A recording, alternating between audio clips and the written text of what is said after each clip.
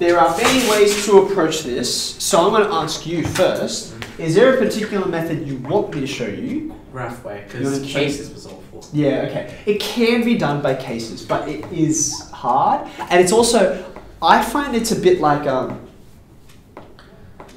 doing things by cases is sometimes a little bit like following instructions on a, on a recipe. You, you can follow them, but you don't necessarily know why you're doing what you're doing. You're just sort of going through the motions and then crossing your fingers that at the out, out the end a, a, baked cake will come out. Okay, uh, you're like, why is it 108 degrees? I don't know. What's baking powder do? I don't know, but it does something. Graphing, I find, gives you a much bigger, or it literally gives you a bigger picture. So let, us have a go at this. Okay. So I'm going to say first graph. So let's just break that part of the question down first. Okay. Um, I need to consider this and this, and then I'm going to combine them. Okay. So draw up a nice big set of axes. And what I'm going to do is, if the question were part A, graph, I would have to pay quite a lot of attention to the, the, the specifics of the graph itself because the question is graph. However, if the question is just solve this and I'm using the graph as a tool, the graph doesn't have to be beautiful or anything. You don't even have to use a ruler necessarily. It just has to be good enough so that you can use it as a guide to solve the question. So, um, bad choice of color. One piece at a time. I'm going to think about this and then this. Okay. So x minus two. Forget about the absolute value for a second. What does y equals x minus two? What does it look like? It's like intercepts at the minus two, Yeah. and then it just keeps going up. Yeah, it's just got a gradient of one, right? So I have that visually in my mind. I have it. Is there a ruler here? Nope, there we go. Oh, hidden up there. Yeah, sneaky. Okay. So it's where a teacher would hide it. Um, I. You'll notice I haven't drawn the bottom of the axis. Do you know why? Because it's absolute values. It's absolutely. Not only is it absolute values, I'm adding absolute values. If you add two things that are positive, you'll get something else that's positive. So that's why I've ignored the bottom. However, it would do something like this, wouldn't it? Okay, if that was like negative two, and then off you go, and your grade of one. Okay, so I'm going to be a bit cheap, and I'm going to draw part of it right now, like this. Uh, move it over a little bit, actually. That is the only part that I've drawn. Because that's the positive part, the rest of it is irrelevant. Okay. What does happen to the rest of it? Just gets bounces up. Yeah, very good. Something like that. Okay. So this, and this is important. I've got I've got two branches, right? So I'm going to label the branches as they are. This part here is y equals x minus two. What's the other part? Y equals x minus x Plus no two. negative Two minus minus x. Either way is fine. Uh, I'm just going to write 2 minus x because I'm lazy and that's faster. Okay, but it's, it's valid to say negative x plus 2. Cool. Now I've got the other part. Absolute value of 2x plus 1. What can you tell me about it? Gradient of two crosses out one. Good. So now that I have actual values on my graph, what is this value again? This one here. Uh, Uh, my two. It was negative 2 and it reflected up to 2. Okay, so if that's 2, then just for my own sake, I'm going to put 1 in a reasonable spot. Okay, so there's 1. So it crosses the axis there, and you told me it was steep. So it's going to do something like this. You okay with that? Uh, and then of course there's a reflected bit, so let's see how I go. Uh, it's too steep, I'm gonna try that again. Oh, steepness.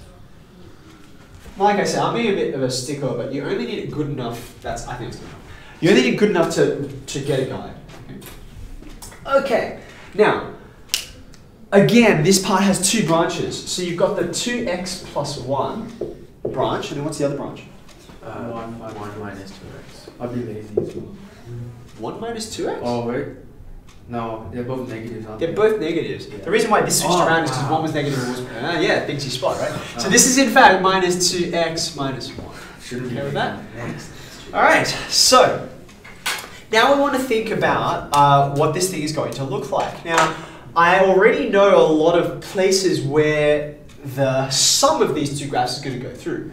For instance, coincidentally, like I just wrote these numbers down, coincidentally, the y-intercept for both graphs together is going to be 1 plus 2, which is that point's really important to me because it's on the boundary. Okay? You can see then, all right, there's going to be to um, to the left of this spot over here. By the way, what is that spot? Do you know what it is? To the left. To the left of the origin, there's zero. This is negative. Oh. It's going to be negative a half because remember it's got a gradient of two. So if you can imagine this little triangle in here with a rise over run, that's half and that's one. So one divided by a half is two. There's your gradient. Um, so to the left of this, you're going to add these two guys together, right? I'm going to go up on my graph to here, roughly. Now, having a look at this, sorry, I'm just thinking to myself. Yes, yes, that's what I expected. You're going to have a line that's really, really steep. Wait, so can you Like that. for a sec? So wait, uh, wait, so the negative half Yep. there. Yep. How did I get it? Where did yeah, where'd that come from? It's just because of the.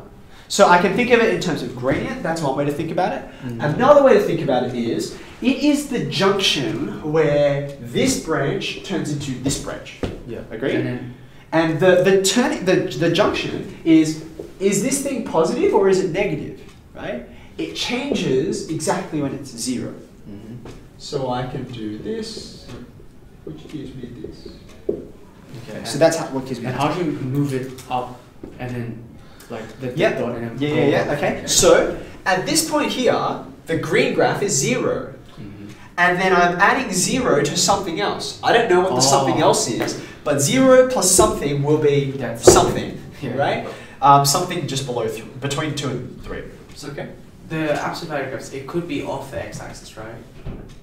Off the uh, yes, absolutely. So then how would you do that? Uh, do you want me to do that as a separate question? Yeah, I can do that. That's fine. Um, for now, though, I can sort of address what you, the skill you need for that question, even within this question. I'll show you what I mean. What have I got here? Okay, this line is really, really steep because you've got this decreasing line. I'm reading left to right. This decreasing line and this decreasing line. So they're both decreasing. It's really, really decreasing. I can find out, find out how much it's decreasing by looking at these two formulas and adding them together, the equations, right? It's going to be what's the what's the coefficient of x?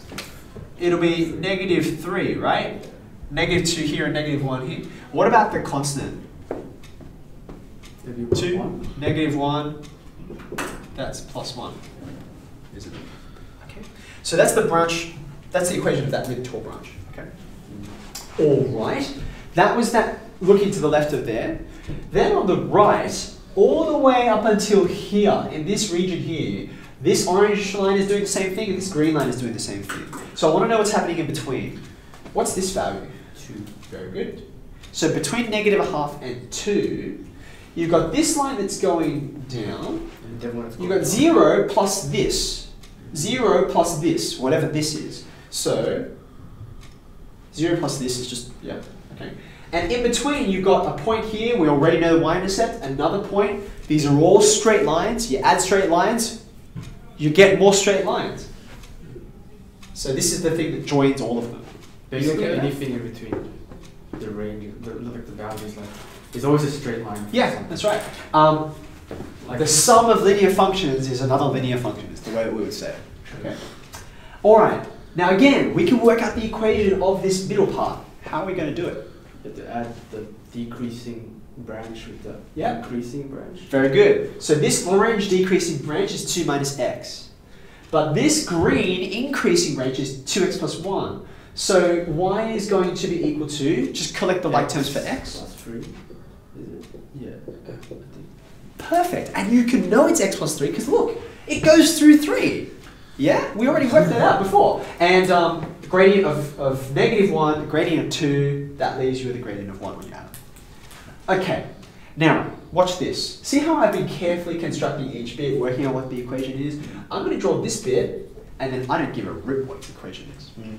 This is one of the great things about not doing it through cases, because once you draw the picture, you know this part doesn't matter. Why? Because it's already above the three. I'm already above three, right? I already went above three here. So I don't care. I mean, I can work out this equation, but I never need to touch it. Never ever. Okay? All the interesting stuff is happening in here. Okay? So, that's enough of a, a graph to do this. I need to work out the parts that are above 3. There's only actually a small component that's below 3, right? This part here, that's the dud, right? So from here upwards is good. And then from here upwards is also good, right?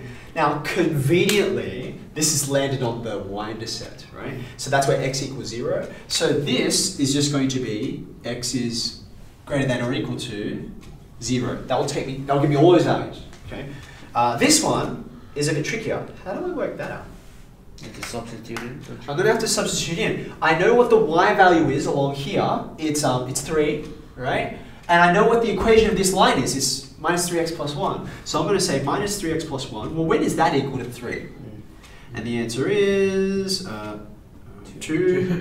x equals negative two thirds. Does that look like negative two thirds? Yeah. Yeah. Look, remember that one? That's negative a half. It's just to the left. Perfect. Okay. So this is x is less than or equal to Uh, negative. negative 2 over 3. Wow. I've done all the legwork. So now I can say uh, this is true when x is less than negative 2 over 3 or x is greater than or equal to 0. Why is it or and not and? Because it doesn't join. Because you can't simultaneously be greater than zero and less. Yeah, there's no number. There isn't any number that can do both of these at the same time. You can be one or you can be the other, which is great, Yeah, it is but not both. It's maths Uh. I didn't write anything in one in the first exam, and I lost a mark because I didn't have and or or, and I meant to like join them. Yeah, well, sometimes, yeah. yeah. You see, you see, uh, this is one of the superpowers of mathematics, which is, is a two-edged sword. In mathematics, there's no wasted words. There's no wasted symbols. A single character changes everything. So therefore, a word really matters. So economy um, makes things faster and more efficient and more dangerous when you leave out little things. So, um, if you were to do this by cases, okay, um, still doable. I mean, that wasn't that wasn't quick either, but cases is longer. Um, you end up doing work that ends up being redundant because you can't tell. You got no picture in front of you, and then you get to the end, and you're like, oh, I just why did I do that for? Okay. Um, so this is the way that I think is best, and graphing is always useful. That's So. three marks.